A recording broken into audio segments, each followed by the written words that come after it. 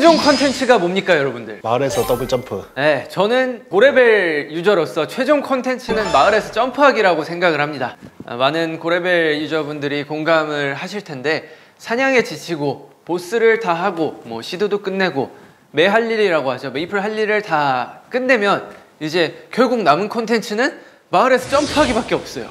이 마을에서 점프하기를 조금 더 재밌게 만들어 보자 라는 생각에 정말 이 소소하고 이 쓸데없는 거지만 예, 한번 계획을 하게 되어 봤고요.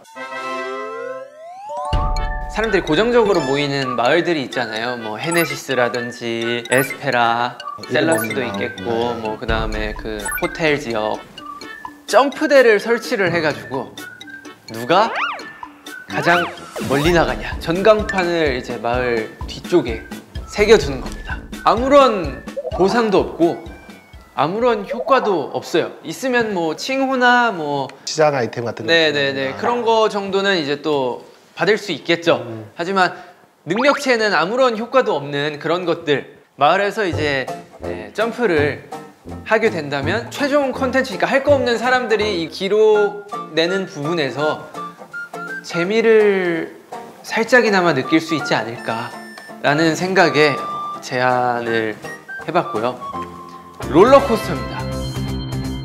fantastic 테마파크라고 이미 뭐 비슷한 컨셉이 있긴 한데 점프까지 다 하면 메이플 켜두고 멍 때리고 앉아 있어요. 사람들이 왜 그러고 있냐? 라고 물어보는데 이제 메이플 스토리 접속하는 것 자체가 user로서 일입니다. 아무것도 안 해도 켜놓고 지켜보고 있는 거예요. 근데 그 지켜보고 있는 거를 조금 더 재밌게 하기 위해 예를 들어 추추빌리지 마을이 굉장히 넓지 않습니까? 그렇죠. 사실 이건 이제 호불호가 갈릴 수 있어서 특정 서버에만 예를 들면 뭐 5서버, 10서버, 15서버, 20서버 뭐 이런 곳에만 예, 설치를 하면 좋을 것 같고 이제 롤러코스터는 이제 추추빌리지 map 마을이 이렇게 있으면 하루 종일 이렇게 도는 거예요. 하루 종일 도는 거예요.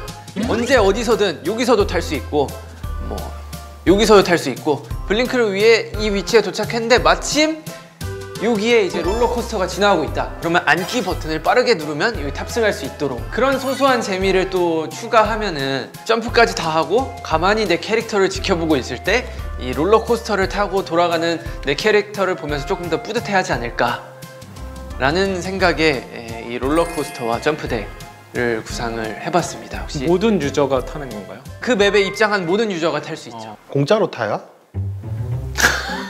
요새 메소가 많이 풀렸다는 걸 알긴 하지만 그래도 돈 내고 타는 건 조금 코크타운 맵은 아직 살아 있을까요? 뭐 살아는 있죠. 아, 그래요? 네, 살아 있는데 그럼 그 혹시 진 타운 해가지고 똑같이 한번 열어주시면 안 될까요? 아, 그거 다 지워야 돼가지고 죄송합니다. 풀을 다 지워야 돼가지고 네. 네. 콜라와 관련된 걸 다 지워야 되는데 다 남는- 콜라 나중에 남는 게 아마 얼음밖에 없을 거라. 거기다 이제 진 얼굴을 다 갖다 박아놓는 거죠.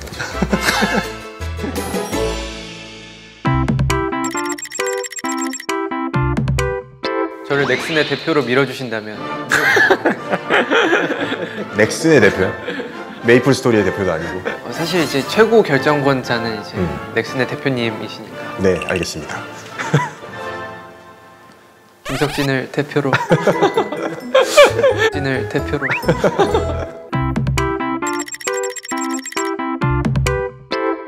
한 가지 여쭤보고 싶은 게 있어요. 메이플이 20년 후에도 계속 서비스를 할 수 있을까요?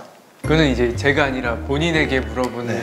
질문이 되어야 되- 아, 저, 저, 저- 제가 석진님한테 그 궁금해서 물어보는 거예요. 지금 상태라고 하면 20년 후에 서비스를 할 수 있을까요? 최근 상태라고 하면 할 수 있고요. 네. 2, 3년 전 상태라고 하면 할 수 없을 어. 것 같습니다. 그러면 그 2, 3년 사이에 뭐가 크게, 제일 크게 바뀐 것 같아요? 소통이 가장 크게 바뀐 것 같아요. 아, 모든 실장님들과 디렉터님을 존경하지만 소통이 없었을 때는 내가 이렇게 만들면 사람들이 좋아해 줄 거야 라는 생각을 좀 가지셨던 것 같아요. 처음에는 그런 방향성이 맞았지만 후반부로 갈수록 유저들의 원하는 패치가 이루어지지 않고 처음에 재밌었던 게 계속 지속적으로 반복이 되니까 유저들이 거기서 조금 화가 나지 않았었나 하는 생각이 들더라고요. 처음에는 물론 재밌고 좋은 이벤트였어요. 하지만 그 이벤트만 반복을 하다 보니까 소통의 문제가 아닌가라는 생각이 들었었는데 이제 많은 유저분들도 그거를 이제 언급을 해주셔서 소통을 이렇게 두 분을 위주로 소- 많이 하고 있잖아요. 그 뒤로는 이제 게임 상태가 정말 많이 게임 상태라 하기 좀 게임이 정말 좋아져서 어, 재밌고 뭐 유저들의 편의도 봐주고 뭐 조금 업그레이드도 되고 뭐 이래서 저는 지금처럼 간다면 20년 뒤에도 있지 않을까 하는 생각이 듭니다. 결국 게임에서 이제 소통을 했냐 안 했냐 소통의 여부에 따라서 정말 많이 바뀌었고 네. 그 소통을 함으로써 게임이 20년 안에 망할 것 같은 게임이 20년 이상 서비스 할 것처럼 보인다라고 생각이 된다라는 거예요. 맞습니다. 저희 업계에서도 소통이란 게 굉장히 중요하거든요. 팬분들이 뭘 원하냐, 팬분들이 원하는 컨텐츠를 어떤 걸 찍냐. 저희가 뭐, 아, 내 귀에 이게 좋아. 이러면서 뭐 음악을 정말 막 만들어요. 근데 팬분들이 어, 이 음악 별론데? 하고 안 들어주신다면 저희의 뭐 생활도 끝나는 거잖아요. 게임도 똑같다고 생각합니다. 저희는 팬분들을 만족시키는 컨텐츠를 내야 되고 게임 회사는 어, 유저들을 만족시키는 게임을 만들어야 되는데 본인이 이거는 대박이지. 이거 최고야. 이거를 뭐 안 들은 사람 이 게임을 안 하는 사람들은 그냥 바보야. 라고 해버린다면 그때부터 망하는 길로 가지 않나 라는 생각을 저는 갖고 있습니다.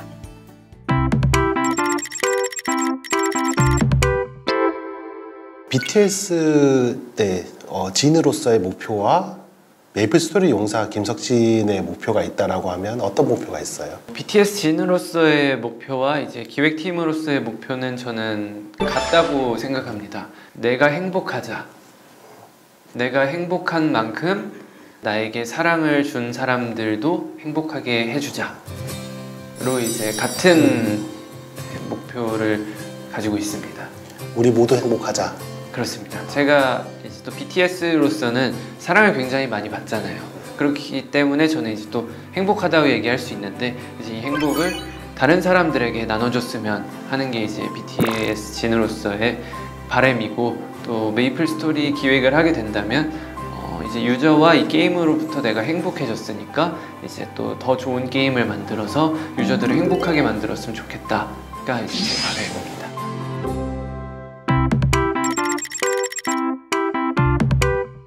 아 여기서 마음대로 쇼핑하라고 하셔가지고 일단 이 다 같이 있는 친구들 하나 이 핑크빈이랑 요거랑 이 어, 핑크빈 작은 어?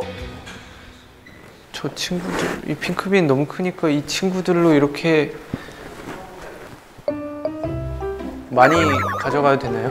들고 갈 수 있을 만큼 들고 갈 수 있을 만큼 그러면 이렇게만 가져가도록 하겠습니다. 감사합니다.